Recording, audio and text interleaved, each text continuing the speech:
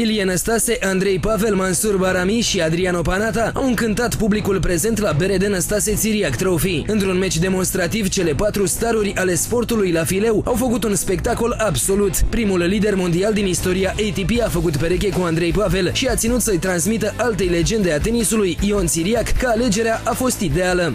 Țiriac, ai văzut așa,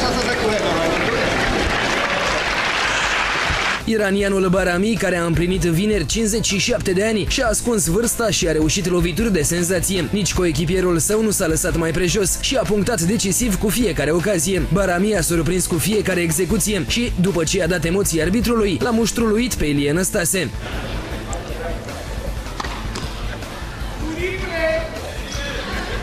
Hai, muripule! Drept răspuns, românul a lăsat un copil de mingi să-și încerce norocul pe serviciu. Iranianul a continuat recitalul cu un arbitru de linie, însă pasele dintre Pavel și Năstase au trimis confruntarea în tiebreak. Acolo românii s-au impus cu 7 la 5.